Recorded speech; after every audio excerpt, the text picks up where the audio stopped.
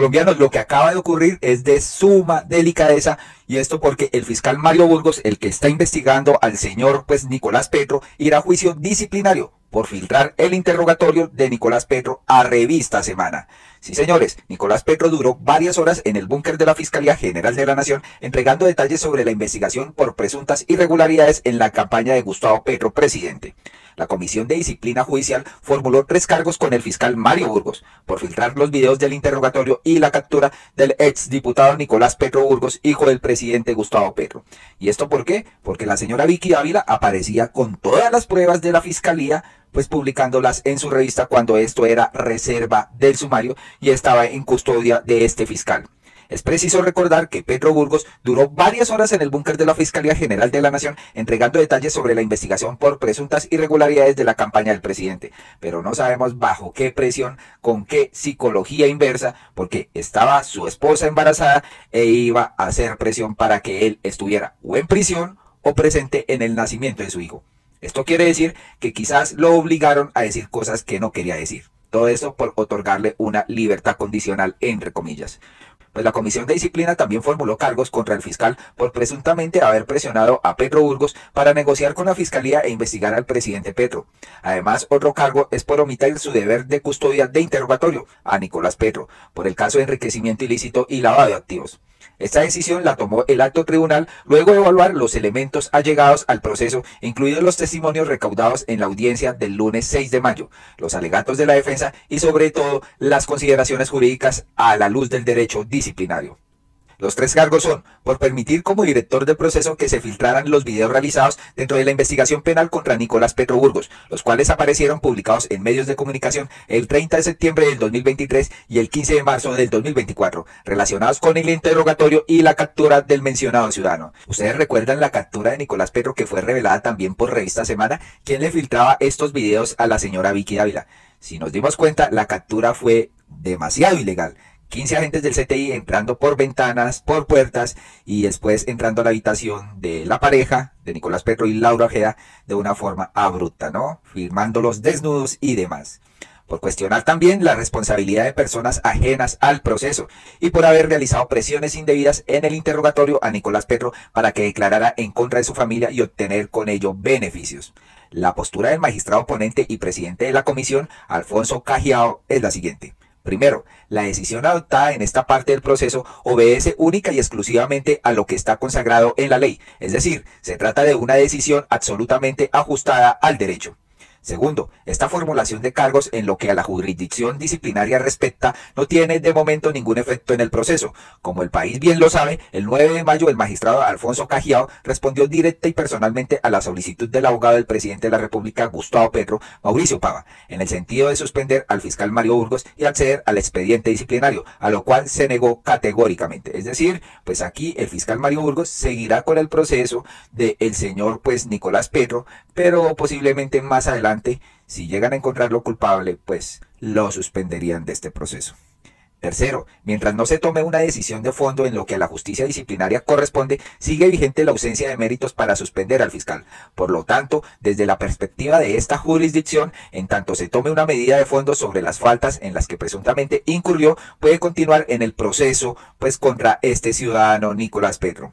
Cuarto, de acuerdo con el reglamento de la Comisión Nacional de Disciplina, la siguiente etapa procesal, que corresponde a la práctica de pruebas para la decisión de fondo, pasa a manos del siguiente magistrado de orden alfabético, es decir, el doctor Juan Carlos Granados, quien en su momento, dentro de los términos de la ley y el debido proceso, adoptará las medidas correspondientes que pueden ir desde el archivo del proceso hasta la imposición de una medida sancionatoria según sea el caso.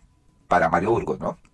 No obstante, el pliego de cargos formulado el día de hoy y más allá de lo que ocurra en una próxima etapa del proceso disciplinario para la Comisión Nacional y en particular para quien ostenta actualmente la condición de presidente de la corporación, es claro que las denuncias respecto al caso que involucran al ciudadano Nicolás Petro son de mayor gravedad.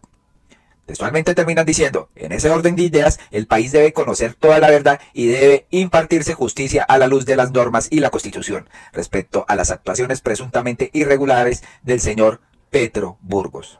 esto es lo que dice la Comisión de Disciplina Judicial. Vamos a ver qué pasa, pero vamos a ver también los pronunciamientos pues, de Nicolás Petro y de la señora Vicky Dávila. Por supuesto, salió a defender al fiscal pues Mario Burgos. Dice aquí Nicolás Petro, Formulación de pliego de cargos contra el fiscal Mario Burgos. Después de tantas arbitrariedades que se me han cometido en mi proceso judicial, no pensé que se hiciera justicia. Hoy la Comisión de Disciplina Judicial formula pliego de cargos contra el fiscal Mario Burgos por haber filtrado material que está exclusivamente bajo su custodia, por haber investigado a mi padre siendo un aforado y por haberme presionado indebidamente, señores. Pues va para larga esta pelea. Vamos a ver, pues esto no le quita lo culpable y finalmente si este señor cometió delitos, pues terminará pagando unos años de cárcel, señores. Pero también lo que hizo el fiscal Mario Burgos es indebido. Entonces, por parte y parte, ¿de dónde recibiría presiones este fiscal? Mm, no lo sabemos, pero yo creo que sí, la extrema derecha está detrás de todo esto presuntamente. Entonces, vamos a ver qué le respondió Vicky Dávila. Un periodista no revela su fuente de información jamás, pero un periodista está en la obligación moral de decir quién no es la fuente, para que no se cometa una injusticia. Es decir, aquí empieza a proteger y a lavarle la cara al señor Mario Burgos. Entonces, ¿quién se lo pasó si está en custodia de este señor? ¿Mm? Orden de Barbosa presuntamente, esto sí sería mucho más grave. Hoy le digo al país que el fiscal Mario Burgos no fue la fuente por medio de la cual pude revelarle al país la confesión de Nicolás Petro ante la fiscalía. Un documento que los colombianos debían conocer y en el cual el hijo del presidente se autoincriminó aceptó que cometió delitos y salpicó de manera grave a su papá, a la campaña y al círculo cercano del entonces candidato. ¿Ah? La Comisión de Disciplina Judicial, que ha elevado pliego de cargos contra el fiscal Burgos, tendrá que probar fácticamente que el funcionario que ha investigado a Nicolás Petro es mi fuente. Como eso es imposible porque no fue mi fuente, al final Burgos tendrá que ser absuelto. Entonces, la señora Vicky Ávila aquí se excusa en su libertad de prensa y no va a revelar la fuente que le dio toda la información. Lo mismo pasó con los petrovideos y toda esta información que presuntamente fueron pues agentes de la policía, ¿no? Entonces vamos a ver qué pasa con toda esta filtración, pero es en cuenta que ya con el cambio de fiscalía ya la señora Vicky Ávila no tiene tan fácil el acceso a información de los procesos y demás. Con Barbosa lo tenía todo. Entonces esto se constituiría un hecho muy grave con el fiscal Barbosa si fue él presuntamente que le filtró esta información o la señora Marta Mancera, ¿no? Todo esto para un plan mediático de pues perjudicar al presidente de la República. Ella continúa diciendo, de lo contrario se confirmará que la estrategia para perseguir y sacar del camino a este valiente fiscal se cumplió. Es decir, ella ya está dando un veredicto acá, ¿no? Se cree juez y ley. Un paso hacia la impunidad del hijo del presidente Gustavo Petro, en juicio por lavado de activos y enriquecimiento ilícito. Los periodistas estamos para buscar la verdad. Si Semana no revela tal confesión, todo seguiría en la oscuridad. Ya los colombianos saben la verdad de la propia boca de Nicolás Petro. Y aquí le dicen, explicación no pedía, culpa manifiesta, ¿no? Aquí entonces acepta que sí le filtraron esta información a Vicky Dávila. La derecha usa el camuflaje en Colombia, tiene el control de los medios de desinformación, tiene a la justicia arruinada y han desfalcado al Estado por más de 40 años. Meten miedo como en la época de Pablo Escobar. Lograron hacer lo que el señor no pudo, frenar a la justicia. ¿Mm? Esto es lo que dicen aquí, pues, los usuarios frente a las palabras de Vicky Ávila. Y pues frente a esto, Nicolás Petro no se quedó callado y le contestó a Vicky Ávila. Victoria Ávila, Espero que esta decisión del Poder Judicial también la exhiba en sus conferencias. La magistratura está resolviendo el caso de Burgos y lo acusó porque A. Fue descuidado con los documentos del proceso. No importa quién se los filtró. Esa prueba no es necesaria. Llamaremos a Vicky Ávila como testigo. Acaba de admitir que le fueron filtrados. Es decir, aquí se le complica pues el panorama judicial a Vicky Ávila porque tendrá que decir quién fue y no basándose en la libertad de prensa porque esto ya es un caso jurídico que merece pues saber quién fue el que le filtró esos videos, ¿no? B. Burgos investigó al presidente sin poder hacerlo. C. Burgos utilizó ilegalidades en mi captura, como lo he denunciado. Si usted defiende la democracia, como dice hacerlo, respete las determinaciones del Poder Judicial. Aquí le dice el señor Nicolás Petro a Vicky. Y Vicky después contesta, el país sabe lo que usted, su papá, los allegados y la campaña hicieron, gracias a su propia confesión libre y voluntaria ante la Fiscalía. Pues esto tendrá que determinarlo la misma Fiscalía si fue voluntaria, pues esta confesión que supuestamente hizo Nicolás, ¿no? Ya los colombianos conocen la verdad. Eso es lo más importante, Nicolás Petro, le dice la señora. Pero miremos el informe de esta noticia, donde tendrá que responder este señor Mario Burgos por tres delitos. Enfrentará un juicio disciplinario por la filtración del video de la captura y el interrogatorio de Nicolás Petro, ¿no? Todo esto a través de semana. Seguimos con la noticia del momento. Juicio disciplinario fue llamado el fiscal Mario Burgos por la filtración del video de la captura y el interrogatorio de Nicolás Petro. El fiscal Burgos tendrá que responder por tres cargos. Juan Carlos Giraldo tiene todos los detalles. Buenas tardes. ¿De qué cargos estamos hablando, Juanca? Hola Rafael y televidentes, buenas tardes. Pues se trata de cargos disciplinarios. El primero, supuestamente haber violado la reserva judicial del proceso que estaba a su cargo. El segundo, filtrar parte de esa información de la reserva. Y el tercero, supuestamente haber ejercido presiones para que Nicolás Petro entregara un interrogatorio a la Fiscalía en contra de su voluntad. Por estos hechos, eh, la Comisión Nacional de Disciplina Judicial, en cabeza del presidente de esta entidad, magistrado Alfonso Cajiao, decidió llamar a juicio disciplinario al hoy fiscal Mario Burgos. Algunos expertos en derecho penal y disciplinario consideran que Burgos debería declararse impedido para seguir adelante con el proceso.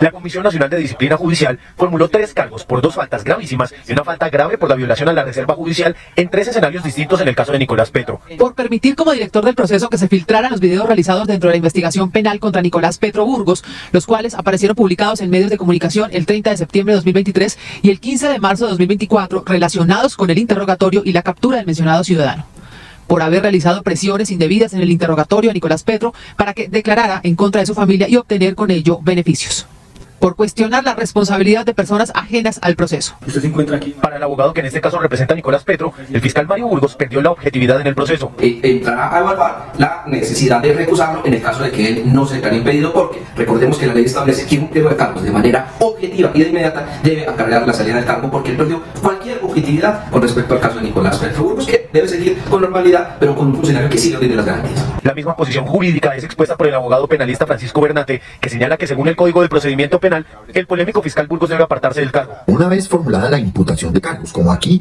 ocurrió, si se presenta un pliego de cargos a nivel disciplinario en contra del funcionario judicial que adelanta la investigación, este debe declararse impedido o procede la recusación en su contra.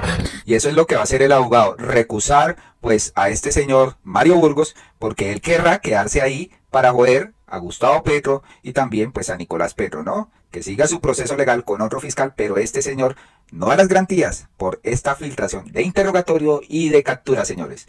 Videos que están en custodia de este fiscal.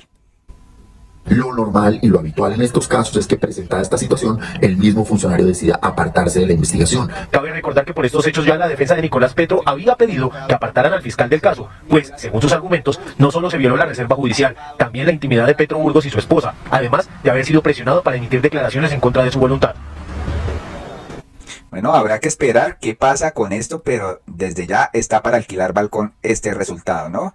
Y pues aquí Roma Rosa dice que es abogado también y dice, nos explica cómo la fiscalía mantiene la misma Bacrín, Mancera, Jaimes, Daniel Hernández, Mario Burgos, etcétera, pues en la fiscalía y es verdad, ¿no? Esta gente tiene pues muchos cuestionamientos presuntamente y deberían ser apartados de la fiscalía. Vamos a ver en qué terminan todas las investigaciones de contrabando, de Pacho Malo con el señor Mancera, de las investigaciones que tiene Daniel Hernández por presunta corrupción, de Jaimes, que era, mejor dicho, ahí el alfil de Barbosa y de Mancera, y pues esperemos a ver qué pasa.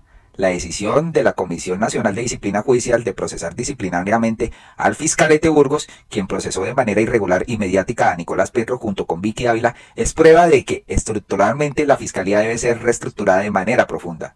¿Cómo es posible que la narcofiscal Mancera y Jaimes estén en puestos de alta dirección en la fiscalía y la mayoría de los fiscales de confianza de la fiscal del Clan del Golfo estén en el área de derechos humanos en justicia y paz de la fiscalía? Hay que esperar, pero definitivamente sí es preocupante esto. Por otro lado, colombianos, la Corte Suprema abrió investigación a Armando Benedetti, Tatiana Cabello y Efraín Torres. Los excongresistas son investigados por los delitos de concierto para delinquir, cohecho propio y enriquecimiento ilícito a servidor público. La Sala de Instrucción de la Corte Suprema de Justicia abrió esta investigación formal contra estos excongresistas. El alto tribunal adelanta averiguaciones sobre hechos en los que los políticos pudieron haber incurrido en los delitos de concierto para delinquir, cohecho propio y enriquecimiento ilícito de servidor público. De acuerdo con la sala, los hechos investigados están relacionados con supuestas maniobras hechas desde el Congreso para aparentemente beneficiar a la empresa Symmetric SA, propiedad de Euclides Antonio Torres Romero, con un requisito para la obtención del permiso para portar armas. El supuesto favorecimiento, dice la Corte, se habría traducido en la aprobación de una ley en el Congreso en el año 2012, la cual implementó el certificado de aptitud psicofísica para el porte y tenencia de armas. En estas acciones habrían participado los tres políticos quienes para la época eran congresistas. Sin embargo, la sala resalta que la investigación se abre por presuntos delitos de concierto para delinquir y cohecho propio, pero que en el enriquecimiento ilícito del servidor público solo se investiga al ex senador y actual embajador colombiano, pues ante la Organización de Naciones Unidas para la Alimentación y Agricultura FAO, Armando Benedetti. La sala confirmó que citará a los tres excongresistas para escucharlos en indagatoria dentro de la investigación.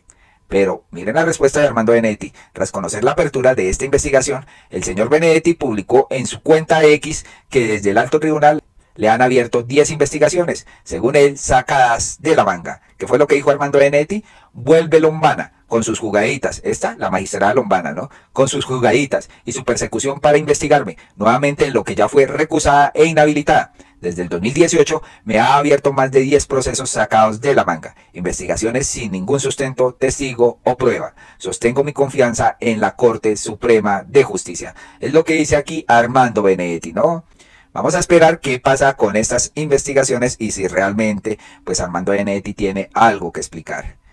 Por otro lado, estamos viendo a la oposición recalcitrante de este país como Cambio Radical, como el Centro Democrático, que están viendo cómo torpedean la reforma pensional. Pues resulta que estos señores de cambio radical no vinieron a dar la cara al Congreso. Convocaron a una audiencia para atravesársele a esta reforma y hoy que era el día de la audiencia no aparecieron. Vaya jugada. Desen cuenta aquí el congresista Alfredo Mondragón pues los denuncia. Bueno, siendo las 9.43, solamente hemos llegado hoy, 6 de junio, hemos llegado en la coordinadora ponente de la reforma pensional, la compañera Marta Alfonso, y vean ustedes cómo está el resto del recinto, vacío. ¿Ya? Vinimos nosotros a la cara como, ella como coordinadora ponente, yo como ponente, y los que propusieron la audiencia pública es que antes que empezar el debate de la reforma pensional no están, cambio radical por allá, no vinieron. Esas jugaditas deberían tener por lo menos la síntesis de por lo menos simular de que vienen, pero no puede ser, de que convocan una audiencia pública para tratársela a la reforma pensional, que para que no avance hasta que no escuchen a los actores, y no vienen ellos a dar la cara ni los actores. ¿A dónde se fueron? ¿Por qué no vinieron? Los que estaban tan interesados en hacer esta audiencia pública, que por supuesto sabíamos que era para sabotear la reforma, pero cuando tenían que venir, no aparecieron.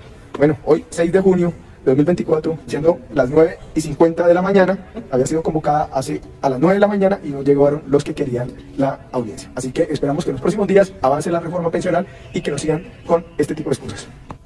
Qué lamentable esto de los congresistas y se les paga 48 millones de pesos por no ir a los debates y pues a ver qué proposiciones tenían para la reforma. ¿Se dan cuenta? Entonces después dicen por qué no se aprueban las reformas y es por esto, por los congresistas de extrema derecha que no quiere que haya un cambio. También aquí Isabel Cristina, la senadora del pacto, dijo, le pido a la ciudadanía que no permitan que se instrumentalice la participación ciudadana por parte del soy conservador para intentar hundir la reforma pensional. Quieren a toda costa hacerlo. Increíble hasta dónde llegan los intereses mezquinos de esta oposición. Le pido a la ciudadanía que no permita que se siga instrumentalizando la participación ciudadana como mecanismo para oponerse a las reformas del cambio, para hacer que se dilaten los debates en el Congreso de la República. La solicitud de audiencias públicas es sumamente importante. Deberíamos tener una legislación realmente participativa, pero que se utilicen los pocos espacios que se tienen, son pocos, para escuchar a la ciudadanía, para dilatar el último debate de la reforma pensional que cursa en la Cámara de Representantes es sencillamente un abuso por parte del Partido Conservador. En el Senado de la República se dieron todos los espacios. El Partido Conservador tuvo también sus espacios para invitar a la ciudadanía. Y los debates también son de la Cámara, por supuesto. Pero no para imponer una fecha o intentar imponer una fecha para que se dilate el proceso de aprobar el último debate de una de las reformas más importantes que tiene nuestro país. La ciudadanía debe estar alerta a este ataque a la participación ciudadana que intentan a través de su instrumentalización para favorecer a algunos sectores políticos utilizarla para hundir la reforma. No estamos de acuerdo con eso. Lo que hizo la Cámara de Representantes al desarrollar la audiencia sobre la reforma pensional el día de ayer es lo correcto. No quisieron eh, los del Partido Conservador, que con sus jugaditas pretenden acabar con esta importante iniciativa de gobierno, no quisieron participar. Allá ustedes, pero no le digan a la ciudadanía mentiras, no le digan que no se dieron las garantías. Ustedes lo que querían realmente y lo que quiere hasta este momento es hundir una propuesta tan importante para los abuelos, para la dignidad de los adultos mayores en nuestro país. Bueno, esperemos que se dé el debate, ya queda muy poco tiempo en el periodo legislativo, realmente los días apremian y esta gente de la oposición pues está viendo cómo pues dilata esto para que se hunda y se cierre el periodo legislativo. Quedan muy pocos días, señores. Muy amables por escucharnos, compartan este video. Colombianos, ¿qué piensan de esto del caso de Mario Burgos? La contestación de aquí de la señora Vicky Ávila defendiendo y diciendo que él no le dio estas pruebas, pues la defensa de Nicolás va a citarla como testigo, señores, y tendrá que decir quién fue su fuente. Ahí ella pues defenderá su libertad de reserva de la fuente. Vamos a ver cómo se desarrolla esto, pero es bastante alarmante. ¿Y qué piensan de la investigación para Armando Benedetti, no? Vamos a ver qué pasa. Hay magistrados que se encarnizan con algunos senadores. Colombianos, hasta acá este video. Por favor, compartan, suscríbanse y nos vemos en uno próximo. Gracias por escuchar.